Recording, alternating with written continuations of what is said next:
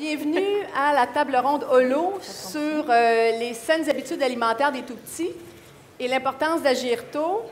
Euh, mon nom est Marie Amiotte, c'est moi qui aura l'honneur d'animer cette magnifique table ronde. Euh, moi, j'ai un, coup de cœur pour Holo depuis des années, avant même de connaître Élise. c'est une fondation qui, qui touche. et quand on m'a demandé d'animer cette table ronde-là, je me suis dit, ah, c'est un sujet très, très pointu à hein, l'alimentation des tout-petits. Eh bien non, vous allez voir, euh, il y a énormément de facettes, c'est un sujet vaste, c'est un sujet qu'on peut aborder de différentes façons. Et euh, d'ailleurs, ce qui est, euh, je pense, la grande richesse de la table ronde qui vous est offerte aujourd'hui, c'est la grande variété d'expertise. Alors, je vous les présente une à une. Alors, Julie Poisson. Julie, vous êtes experte en périnatalité et petite enfance à l'Institut national de santé publique. Euh, en fait, ce que vous apportez à la table que j'ai trouvé merveilleux, c'est toute votre vision globale sur la santé publique. Alors, c'est une belle richesse et on est content de vous avoir avec nous. Merci beaucoup d'être là. Merci. Alors, Sarah, donc professeure agrégée au département de psychologie de l'Université de Montréal. C'est rare qu'on a une spécialiste euh, du cerveau. Alors, euh, autant avec, avec Julie, on regarde le grand ensemble. Avec vous, on a le, le bonheur de pouvoir vraiment Allez savoir ce qui se passe dans les têtes des tout-petits. C'est assez merveilleux. Merci beaucoup d'être là. Merci de l'invitation. Marie Marquis, entre autres, vous êtes nutritionniste et professeure titulaire au département de nutrition de l'Université de Montréal, mais votre parcours fait en sorte que vous nous apportez une magnifique expertise sur euh, l'impact de l'environnement sur l'enfant. Alors, euh, il y, a, il y, a, le grand ensemble, il y a le cerveau, mais il y a tout ce qui tourne autour de l'enfant et c'est, euh, on était content de vous avoir avec nous pour ça. Merci beaucoup. Merci bien. Stéphanie Côté, entre autres nutritionniste pour le petit mangeur, blogueuse Naître et Grandir et auteur. Avec vous, on va pouvoir aborder le, concret, euh, les trucs et astuces. C'est votre métier. Alors, euh, un autre rapport important. Merci beaucoup. Merci. Marianne Roberge, euh, vous avez euh, fait une présentation ce matin. Alors, on sait que vous, avez, euh, vous êtes une représentante de Maman Holo, mais votre parcours professionnel, vous avez parti d'une entreprise Coeva. Est-ce que je le présente oui, bien? c'est ça. Alors, vous êtes fondatrice de Coeva et conseillère en conciliation travail-famille. exact. Alors, vous, vous l'avez vécu. Oui. Et vous l'enseignez maintenant. Alors, beaucoup d'expertise et de crédibilité. Merci d'être là. Ça me fait plaisir. Julie Deschamps, euh, qui est nutritionniste à la Fondation Holo. Donc, euh, tous les matins, Julie se réveille pour aller travailler sur l'alimentation des tout-petits. Tout à fait. Euh, il s'est passé beaucoup de choses chez Holo dans les derniers mois, dernières années, alors on est curieux d'en savoir plus. Alors, je vous présente, puis on les applaudit. Hein? Magnifique table ronde avec une une belle expertise variée. Alors, un beau 90 minutes. Je vous explique un peu comment on va fonctionner. Euh, le, premier 30 minutes, euh, à tour de rôle, euh, je vais m'entretenir avec chacune d'elles à tour de rôle parce qu'on veut en savoir plus sur leur métier, leur expertise, qu'elles ont appris elles-mêmes dans leur métier dans, les dernières années. par la suite, on aura un 30 minutes où là, on jase. Hein. On jase sans ordre établi, des, questions ouvertes. Euh, par la suite, ben, on va ouvrir euh, à vous dans l'assistance pour des questions. Alors, on aura 15 euh, minutes ou plus au besoin pour, des questions de votre côté. pour ceux qui sont des fans de Twitter, le hashtag Holo25 ans. Alors, amusez-vous tout, le long de, tout le long de la présentation à tweeter, relayer de l'information. Ça sert à ça aussi. C'est une belle façon aussi de donner une belle visibilité à Holo. On part? Hmm? On part. Excellent. Alors, Julie, on a eu la chance de, se parler euh, avant. Et euh, une des grandes questions que j'avais, c'est un peu fou, mais je me dis, est-ce qu'on a les connaissances? Globalement, parce qu'on on peut difficilement agir quand on ne connaît pas les choses, mais est-ce qu'on a les connaissances euh, pour soutenir le développement des enfants? On en est où à ce sujet-là? Bien, je dirais que le domaine de la petite enfance, c'est un domaine où on en sait suffisamment pour savoir euh, quand agir, comment agir, euh, comment faire aussi, puis pourquoi. Là, j'ai choisi deux exemples. C'était pas évident, mais deux exemples. Vous me le dites quand. Je sais que vous avez apporté des. Euh, vous me le dites oui, c'est ça. Deux exemples. Premièrement, on sait qu'il y a des études beaucoup d'études longitudinales qui ont montré l'importance euh, de ce qui se passe dans la petite enfance. Puis ils ont suivi les enfants là, de façon euh, longitudinale à travers le temps. Puis ils ont découvert que euh, beaucoup, de difficultés que vivaient les adultes, comme les problèmes de santé mentale, l'obésité, plein de choses, des maladies du cœur, la criminalité même, trouvaient des racines dans la petite enfance. Donc, c'est une des raisons pour lesquelles on, on insiste tant au niveau de la santé, au niveau du bien-être, sur l'importance de la petite enfance. L'autre chose aussi, pourquoi agir, c'est qu'on sait euh, par le prix Nobel de, l'économie, M. Ekman, que c'est particulièrement dans les périodes prénatales et dans la petite enfance que les gains en capital humain euh, d'un investissement puis d'une intervention vont être les plus significatifs. Parce que si on attend euh, à travers le temps, disons, où on insiste sur le euh, la formation en emploi, mais beaucoup plus tard, on sait que les investissements qui vont être requis vont, vont faire une différence, bien sûr, mais ne feront pas autant une différence sur la santé que pendant la petite enfance. Alors, on le sait, ça se joue très tôt. Ouais. Et ça, c'est universel, hein? Ah, tout à fait, tout à fait. C'est une connaissance que tout le monde euh, partage. Oui, c'est une connaissance que tout le monde partage. Est-ce qu'on l'applique toujours, cette connaissance-là? Euh, Bien, ça, on va, on va en jaser parce qu'effectivement, quand on le sait, on devrait... Euh, hein, quand, on, ne le sait pas, on, peut s'excuser, mais quand on le sait, on devrait agir. Là, on en sait assez excellent. pour agir. Bien, ben, justement, qu'est-ce qu'on a appris dans les dernières années qui devrait influencer, je vous dirais, nos politiques publiques? Mais je dirais qu'on on savait, hein, l'adage, là, ça prend tout un village pour élever un enfant. Euh, on répète ça tout le temps. Mais je pense que dans les dernières années, on a compris l'importance de la qualité des environnements dans lesquels les enfants évoluent, comment cette qualité-là peut être déterminante pour le reste de la vie. Hein, si les environnements dans lesquels l'enfant évolue sont favorables, chaleureux, positifs, bien, les facteurs biologiques puis l'environnement vont, cumuler ensemble puis vont permettre un développement optimal de l'enfant. Mais à l'inverse aussi, si l'enfant vit dans des conditions difficiles, adverses, où il y a de la violence, tout ça, ça peut vraiment nuire. Puis hein, on, le sait que ça peut même nuire au, fonctionnement cérébral, à la santé à long terme. Donc vraiment, l'importance de grandir, euh, de naître et, de grandir et d'apprendre dans des milieux euh, de qualité. Oui, puis ça, euh, je sais que c'est une chose que moi j'ai appris avec vous, c'est que oui, c'est une euh, petite, c'est une, énorme fenêtre d'opportunité, mais c'est une énorme fenêtre de risque aussi. Hein. Tout à fait. Puis je voudrais vous montrer la, prochaine diapo. Là, vous allez dire, bon, un chercheur avec ses graphiques, mais inquiétez-vous pas, est vraiment parlante cette étude-là. moi, je l'ai compris, alors vous êtes correct. c'est ça. Je la trouve parlante. C'est une étude forte en, petite enfance. C'est l'étude de Feinstein qui a montré que euh, la, ligne euh, foncée en bas, c'est les enfants qui ont peu de potentiel cognitif à 22 mois, puis qui évoluent dans un milieu euh, de vie difficile, des conditions de vie difficiles. Ben, c'est normal qu'à l'âge de, ben, pas normal, mais attendu, disons, qu'à l'âge de 10 ans, ben, que ce soit eux qui performent peut-être le moins bien la même chose, ceux qui avaient un potentiel cognitif très élevé, puis qui vivent dans un environnement très stimulant euh, au niveau socio-économique puis social et tout, vont, vont être, eux, en, queue de, en, tête de peloton. Ça, c'est les oranges? Ça, c'est les oranges en haut. Mais où cette étude-là est si marquante, c'est, regardez, les enfants qui avaient beaucoup de potentiel, la ligne, la deuxième, mais qui vivent dans des conditions de vie difficiles, vont être moins euh, performants que les enfants qui avaient presque ben, moins de potentiel, mais qui, eux, étaient dans un environnement stimulant. Euh, donc, ce que ça nous dit, cette étude-là, c'est que euh, les environnements où les enfants vivent dans des conditions difficiles, ça peut vraiment venir brimer un potentiel. Donc, il faut vraiment soutenir particulièrement les enfants qui évoluent dans des contextes de pauvreté, par exemple, ou Parfait. Puis on, y reviendra, particulièrement avec Marie Marquis, sur, l'influence euh, euh, de l'environnement autour. Est-ce que, par contre, c'est le, on s'était posé la question, est-ce que le problème de, développement des enfants, ça demeure une problématique qui, concerne surtout les défavorisés? Bien, non. C'est ça, hein?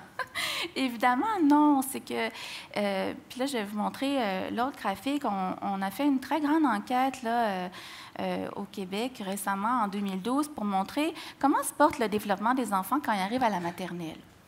Ce qu'on a constaté avec cette étude-là, c'est qu'il y a des enfants vulnérables. Ici, on voit la proportion d'enfants vulnérables dans tous les groupes sociaux oui, la proportion d'enfants vulnérables à leur entrée à la maternelle dans au moins une des cinq sphères de développement. Puis on voit qu'il y a des enfants vulnérables dans tous les milieux socio-économiques.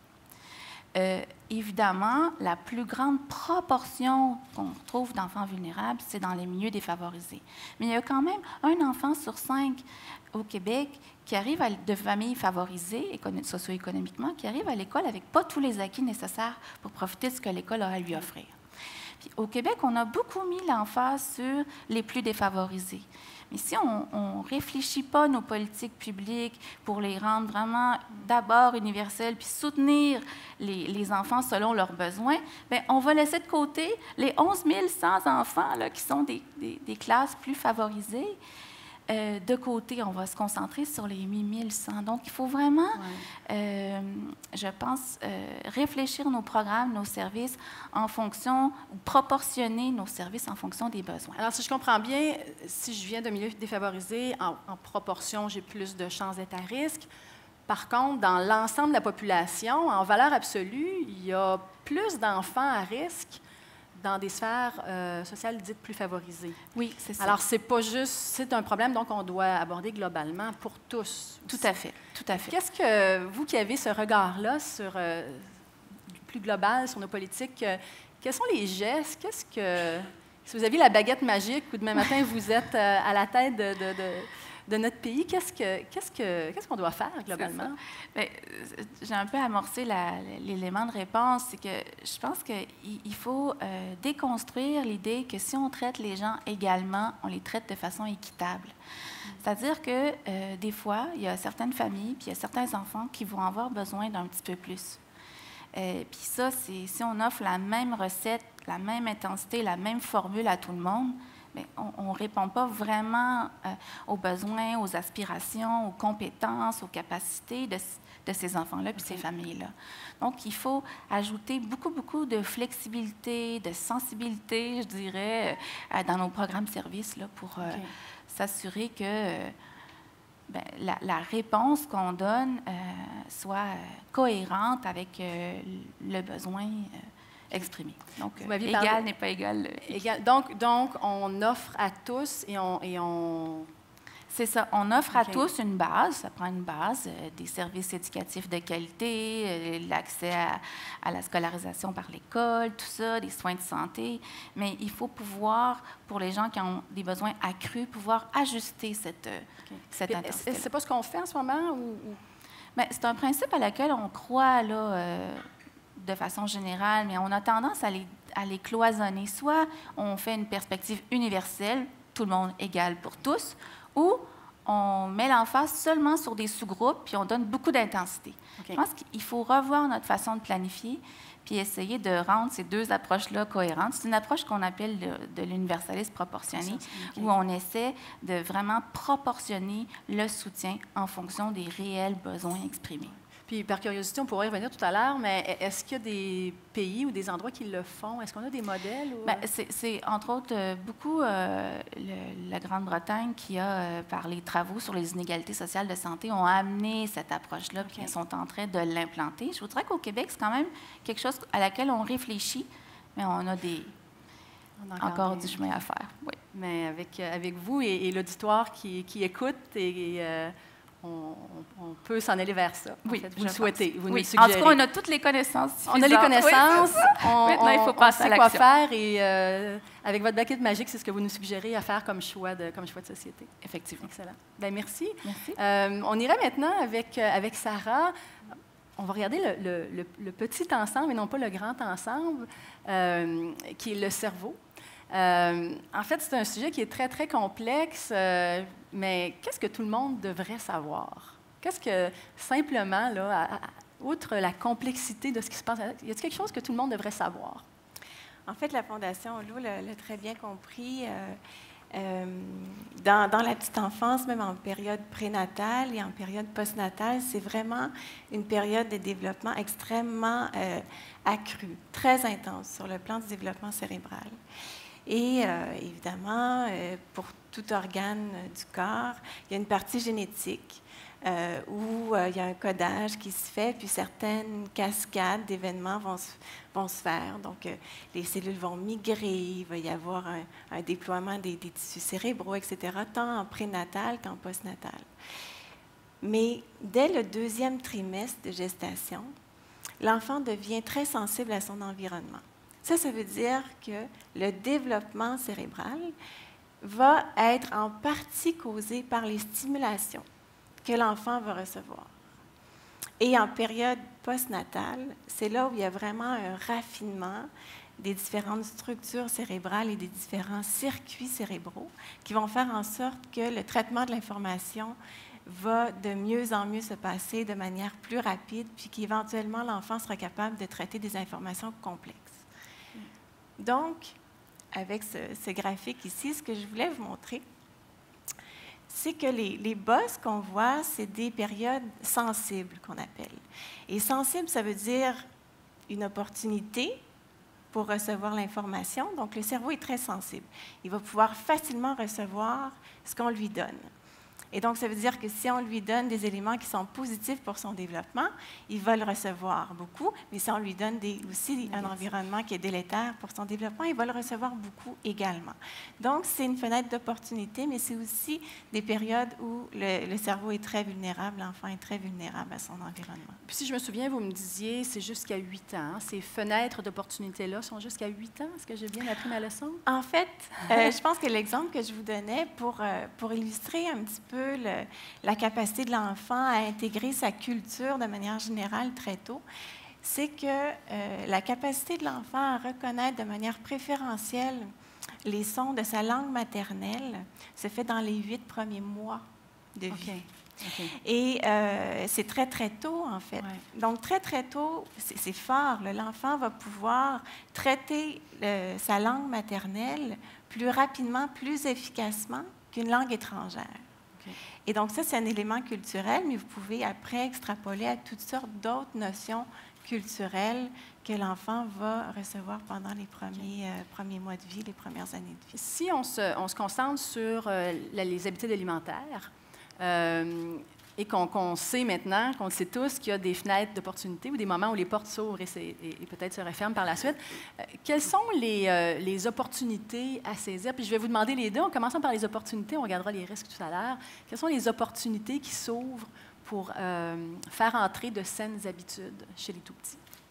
Donc, si on parle de saines habitudes alimentaires, c'est vraiment d'essayer de, donner les, meilleurs aliments possibles aux enfants. Donc, en fait, quand les enfants sont très jeunes, euh, ils vont apprendre à aimer euh, les aliments. Donc, si on leur donne des, aliments euh, avec des, fortes valeurs nutritives, bonnes pour la santé, même si elles ne sont pas sucrées comme du chocolat, les enfants vont apprendre à aimer ces aliments-là, surtout si en mangeant, ils ont du plaisir, ils ont une interaction. Si c'est associé à une boucle de récompense cérébrale, ce sera beaucoup plus facile euh, pour l'enfant d'intégrer des saines habitudes.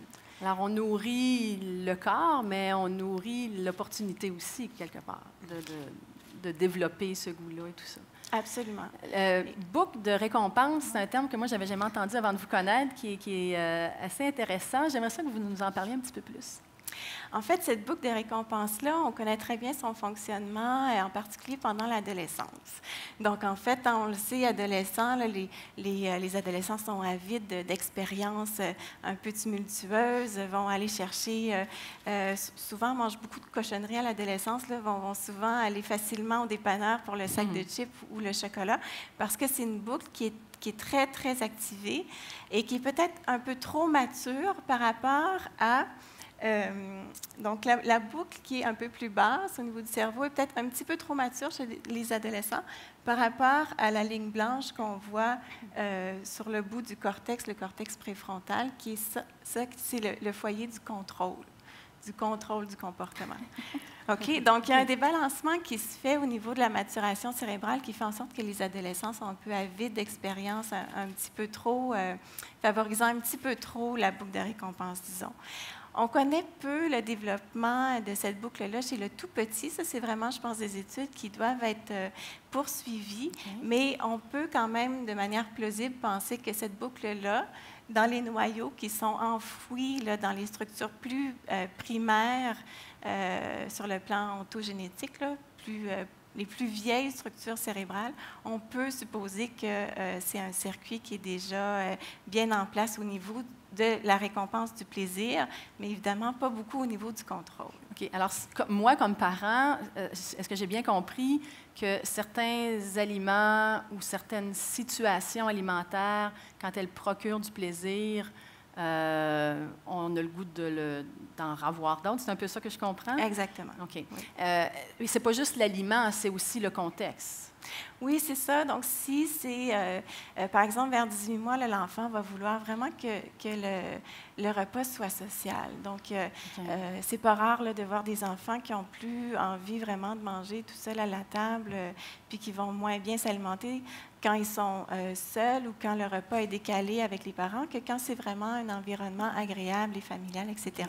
Et ça, ça va chercher cette boucle-là également. Alors, on est capable, comme parents, dans le fond, d'imprimer la bouffe comme étant quelque chose qui est très, très relié au plaisir, c'est ça? Absolument. OK. Euh, on parlait tout à l'heure fenêtre d'opportunité, mais fenêtre de risque aussi. Quels sont les risques, euh, soit de, faire rentrer de mauvaises habitudes ou, de passer tout droit? Euh? Oui, donc un petit peu avec cette même idée-là de, boucle de récompense, euh, il y a des, enfants qui vont être plus à risque, par exemple, qui vont avoir plus de défis dans la vie, qui développeront peut-être pas très bien cette cet aspect contrôle euh, du comportement. Euh, et euh, donc, par exemple, on peut penser aux enfants qui ont un, TDAH, ils ont quatre fois plus de chances d'avoir de moins bonnes habitudes. Est-ce que c'est l'œuf, est-ce que c'est la poule? Évidemment, il y a probablement quelque chose qui se répercute par la suite.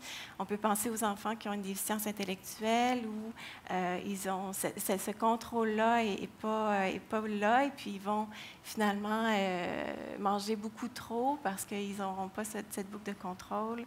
Euh, donc, il y, a aussi les enfants, par exemple, prématurés, où euh, on va vouloir que ces enfants-là, qui sont souvent de petits poids, puis on sait que ça, être de petits poids, c'est un gros facteur de risque, on l'a répété euh, ce matin.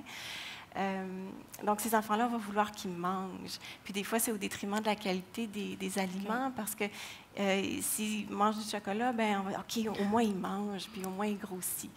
Mais ces, ces enfants-là, malheureusement prématurés, sont aussi plus à risque d'avoir des troubles métaboliques plus vieux à l'âge adulte. Donc, c'est encore euh, euh, vraiment important d'agir tôt pour, entrer, pour, imprimer comme il faut.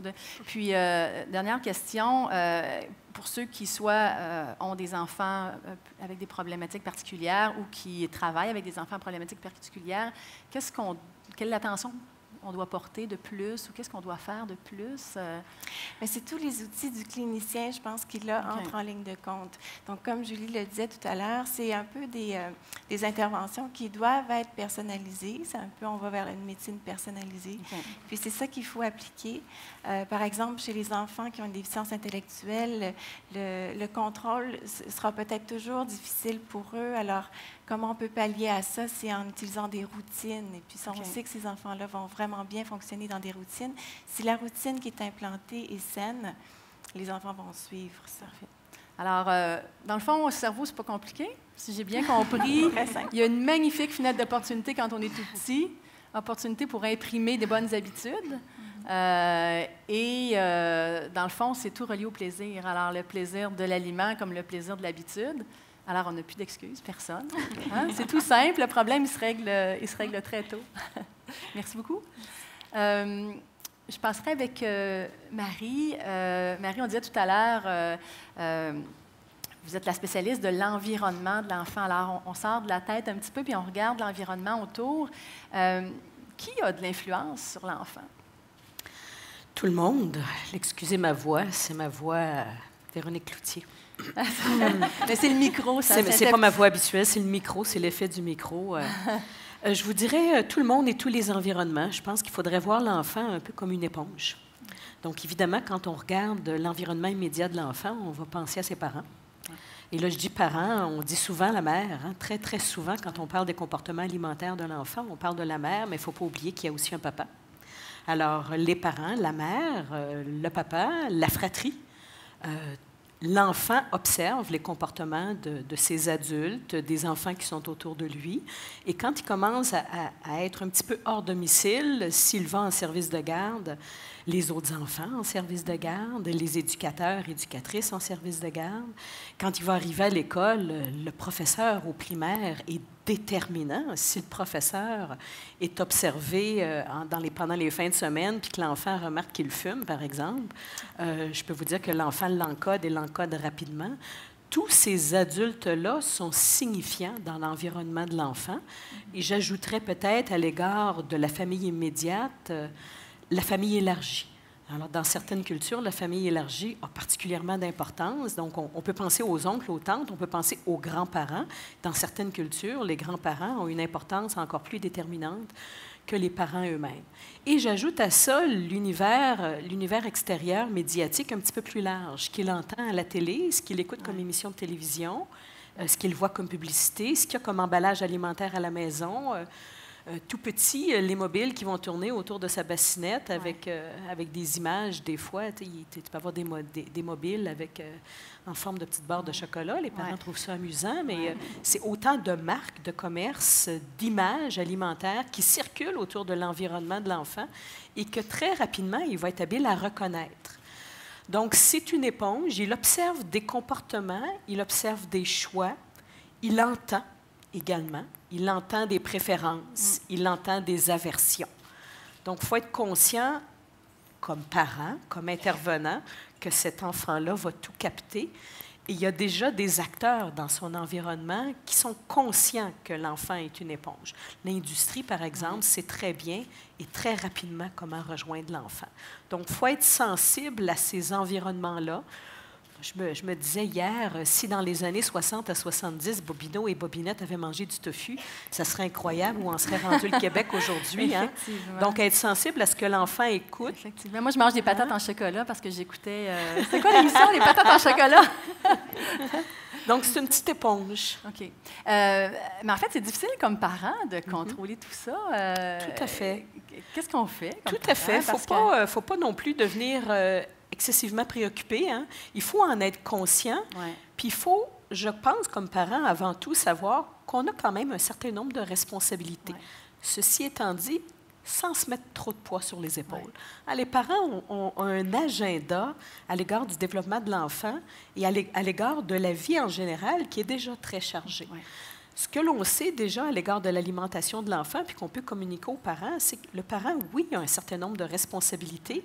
Et ce qu'on a, réalisé, c'est qu'au fil des générations, cette notion de responsabilité parentale à l'égard de l'alimentation de l'enfant a, été un peu, en tout cas sur certains aspects, non transmis non transmise d'une génération à l'autre, ce qui fait qu'il y a des parents qui se retrouvent, des jeunes parents, qui se retrouvent un petit peu démunis à savoir, mais qu'est-ce que, qu'est-ce que je dois faire? On s'entend pour dire que le parent, même en très, très bas âge, là, on arrive avec l'enfant qui, qui, est, euh, qui est venu au monde, ben, il va avoir, à partir du moment où l'enfant commence à introduire les solides, ben, c'est quand même le parent qui a la responsabilité de choisir les aliments, idéalement de les transformer, je dis bien idéalement de les transformer, de les cuisiner. Donc, c'est le parent qui décide du quoi. C'est le, le parent qui devrait décider aussi à quel moment est-ce qu'on mange. Donc, le moment, le quand, et en faisant ça, il vient installer une routine dans la vie des enfants qui est extrêmement importante, extrêmement sécurisante. Cette routine de vie, de la même façon que la routine du bain puis du dodo est une routine, bien, la routine des repas et des collations dans la vie de l'enfant, c'est extrêmement sécurisant pour l'enfant. Donc, il décide du quoi, il décide du quand, il peut décider du lieu également, il devrait décider du lieu. Il y a des lieux privilégiés pour prendre des repas il y a des lieux, il y a des moments pour prendre des repas également. Quand on examine les comportements alimentaires en lien avec l'obésité, on réalise que les occasions pour manger sont multiples dans l'environnement de l'individu, mais c'est la même chose pour l'enfant également. On observe des enfants, des fois, qui vont manger à toute heure de la journée, à tout moment, tout simplement parce que les, aliments sont accessibles partout dans les environnements.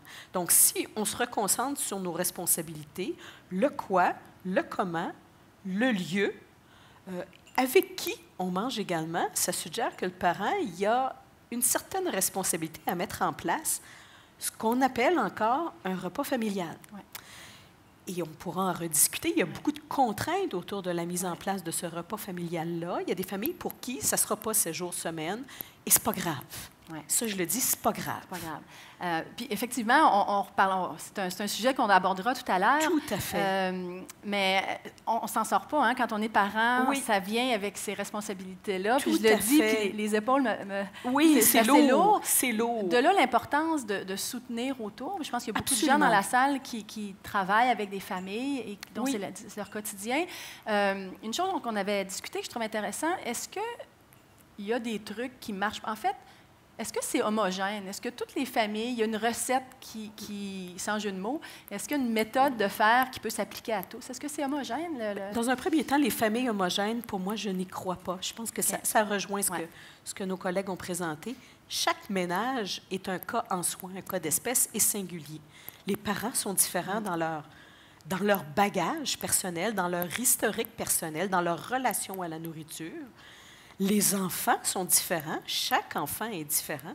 Les enfants développent, avec l'aide des parents quelquefois, ou des fois de manière un petit peu plus trop autonome, des préférences, des aversions alimentaires. Les parents et les enfants ont aussi des conditions de santé qui sont uniques. Donc, dans un premier temps, chaque famille, on doit la voir comme étant un cas singulier unique. Et- chaque famille est dans un contexte culturel et dans un contexte socio- socio-économique également. Et avec aussi, je le répète, un agenda de préoccupation. Donc, de dire qu'il y a une approche unique qui convient à tous, non. Ceci étant dit, qu'est-ce qui peut fonctionner comme approche si au moins chaque ménage peut, dès le départ, être sensibilisé à l'importance de l'alimentation? Dans un premier, dans un premier temps, élever le niveau le niveau d'implication ou le niveau d'intérêt des familles à l'égard de l'importance de cette saine alimentation-là et de se faire un peu un, un autoportrait puis dire, ben OK, où est-ce que j'en suis? Est-ce que j'ai besoin d'aide pour avancer et arriver vers une alimentation qui serait de plus en plus équilibrée pour le bénéfice de l'enfant, mais pour le bénéfice de la famille? Et selon le cas, ben, me faire assister là-dedans. Et moi, j'aime bien l'image de la famille qui avance là où elle est, mais un pas à la fois. à la fois, On a, tous, on a tous un, un- un idéal alimentaire pour les familles du Québec quand on est dans le domaine de la santé, quand on est nutritionniste, mais chacun part d'où il est. L'important, c'est de dire, ben, un pas à la fois, je vais faire des changements. Si, comme adulte, je n'ai jamais consommé de fruits et de légumes, c'est pas l'arrivée de l'enfant qui transforme ses préférences alimentaires chez l'adulte de manière spontanée. Donc, on est conscient, on donne des trucs aux familles, il y a des ressources, il y a des services, il y a amplement d'informations pour aider les familles. Il y en a peut-être trop. Les familles ont certainement besoin d'être guidées pour choisir l'information qui est la plus simple possible et qui est la plus juste pour les amener à avancer un pas à la fois. Pour faire quoi? Bien, pour faire des bons choix alimentaires, pour avoir une relation harmonieuse à l'égard de l'aliment aussi, enlever toutes les préoccupations excessives, enlever la culpabilité à l'égard de l'aliment, enlever les, les- les privations, les obligations de manger. Très souvent, on a grandi dans ça. hein. On voit Ouais. des familles qui sont, qui sont bienveillantes et qui vont courir avec, après l'enfant pour qu'il prenne sa dernière bouchée de légumes. Là.